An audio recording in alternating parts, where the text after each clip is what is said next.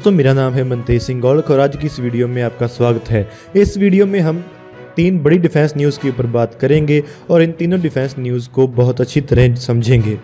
तो चलिए पहले जान लेते हैं कि ये हम तीन बड़ी डिफेंस न्यूज़ कौन सी हैं इस वीडियो में हम बात करेंगे कि एफ़ फिफ्टीन के भारत को ऑफ़र होने से कैसे प्रैटन विटनी के साथ मिलकर एएमसीए के लिए पावरफुल इंजन्स बनाने का रास्ता भी खुल गया है और प्रैटन विटनी के इंजन्स के लिए भी हमारे देश का रास्ता खुल गया है। हमारी दूसरी खबर एलसीए तेजस की तरफ़ से है। एलसीए तेजस ने मलेशिया में इतना अच्छा परफॉर्म किया है कि उसने बाकी सभी कॉम्पिटिटर एयरक्राफ्ट को धूल चटा दी है और उसने बाकी सभी एयरक्राफ्ट से अच्छा परफॉर्म किया है।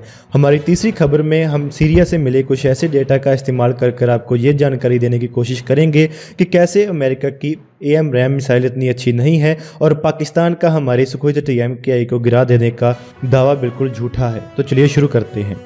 दोस्तों, जैसा कि आप सब जानते हैं कि अमेरिका बहुत जल्द हमें F fifteen E X fighter jet offer करने वाला है। इस फाइटर जेट को बोइंग कंपनी बनाती है।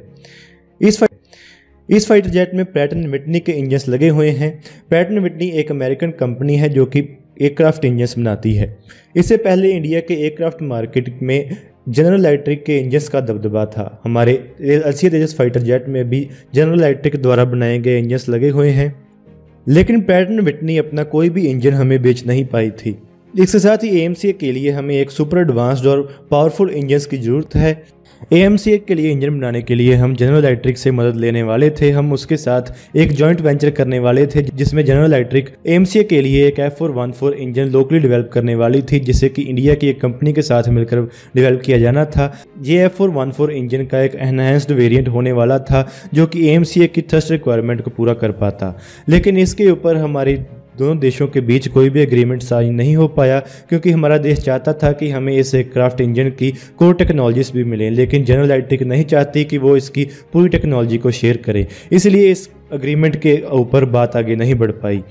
लेकिन अब एफ़ फिफ्टीन एयरक्राफ्ट के आ जाने के बाद, अब ब्रैटन विटनी का भी हमारे देश में आ जाने का रास्ता आसान हो जाएगा। तो ऐसा हो सकता है कि हम ब्रैटन विटनी के साथ मिलकर ए के लिए एक एडवांस्ड इंजन डेवलप कर पाएँ। और ऐसा हो सकता है कि ब्रैटन विटनी हमारे साथ टेक्नोलॉजी शेयर करने के लिए भी तैयार हो जाए लेकिन ये बिल्कुल अनलाइकली लगता है। लेकिन फिर भी दोनों कंपनी के आ जाने के बाद दोनों कंपनीज़ के बीच कंपटीशन हो जाएगा जिससे हो सकता है कि, कि दोनों कंपनीज़ हमारे लिए अच्छे ऑफ़र रखें। दोस्तों पैटर्न विटनी के इंजन्स की जनरल इलेक्ट्रिक के ऊपर एक बड़ी एज है। वो ये है कि अमेरिका के सभी फिफ्थ जनरेशन एयरक्राफ्ट में पैटर्न विटनी के इंजन ही लगाए जाते हैं।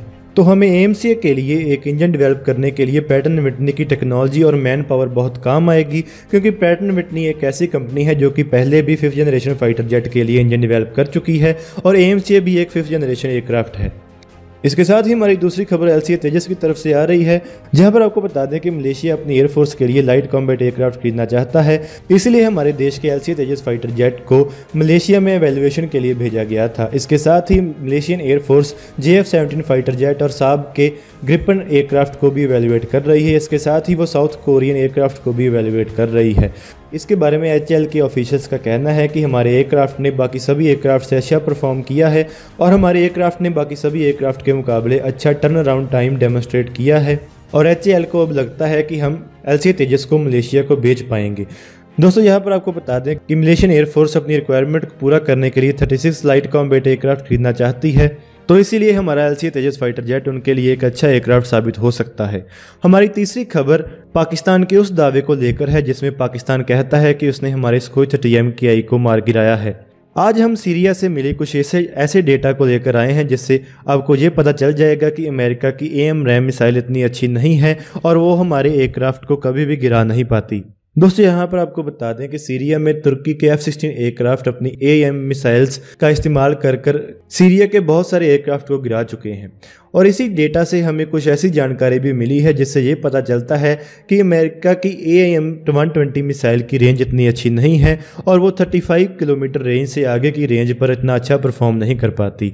ये हमें इसलिए पता चला है क्योंकि हाल ही में एक 40 साल पुराने फाइटर बॉम्बर सुखोई 22 एयरक्राफ्ट ने तुर्की के एफ़ सिक्सटीन फाइटर एयरक्राफ्ट द्वारा फायर की गई A M one twenty C five beyond visual range air to air missile को सक्सेसफुली डॉज किया है और अमेरिका की ये मिसाइल उन्हें हिट नहीं कर पाई। अमेरिका की इतनी एडवांस मिसाइल का एक 40 साल पुराने फाइटर बॉम्बर को मिस कर देना बहुत आश्चर्यजनक है और इससे ये पता चलता है कि पाकिस्तान का स्कोई थर्टी एम को मार गिराने का दावा बिल्कुल झूठा है। दोस्तों, यहाँ पर आपको बता दें कि सीरिया में अभी तक जो भी ए एम रैम मिसाइल ने किल्स की थी, वो सिर्फ़ 35 किलोमीटर के अंडर अंडर थी। और पहली बार जब उन्होंने कोई 22 एयरक्राफ्ट के अगेंस्ट इस मिसाइल को 50 किलोमीटर दूर से यूज़ किया तो ये मिसाइल उसे हिट नहीं कर पाई और सुखोई 22 एयरक्राफ्ट उसे आसानी से चकमा दे पाया। जहाँ पर आपको बताते हैं कि स्कोई 22 एयरक्राफ्ट एक बहुत ज़्यादा पुराना एयरक्राफ्ट है और उसमें स्कोई 30 एम के आई के जैसे सेल्फ प्रोटेक्शन जैमर भी नहीं लगे हुए। और वहीं स्कोई 30 एम के आई एक बहुत ज़्यादा एडवांस एयरक्राफ्ट है और जो मिसाइल पाकिस्तान के एफ़ सिक्सटीन एयरक्राफ्ट ने स्कोई 30 एम के आई के ऊपर फायर की थी, वो 60 किलोमीटर दूर से की थी। और यहाँ पर आप यही अंदाज़ा लगा सकते हैं कि कैसे एक पुराने एयरक्राफ्ट को ये मिसाइल 50 किलोमीटर दूर लॉन्च होने से भी नहीं मार गिरा पाई। तो एक सुखोई थर्टी एम के आई जैसे एडवांस फाइटर जेट को ये 60 किलोमीटर दूर से कैसे मार गिरा पाती?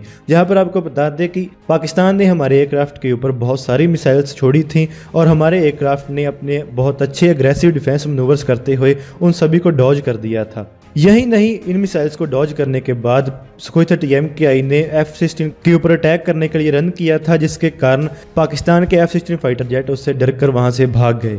दोस्तों, यहाँ पर आपको बता दें कि पाकिस्तान बहुत सारे दावे करता है कि उसने हमारे सुखोई थर्टी एम के फाइटर जेट को मार गिराया है। लेकिन वो अभी तक कोई भी प्रूफ नहीं पेश कर पाया है और अब सीरिया से आई इस डेटा से भी पता चलता है कि अमेरिका की ये मिसाइल इतनी केपेबल नहीं है और वो कभी भी हमारे सुखोई थर्टी एम के फाइटर जेट को मार नहीं गिरा पाती। तो दोस्तों, आज की इस वीडियो में इतना ही। अगर आपको ये वीडियो अच्छी लगे तो आप इसको ज़रूर लाइक और शेयर करें। Thanks for watching this video जय हिंद।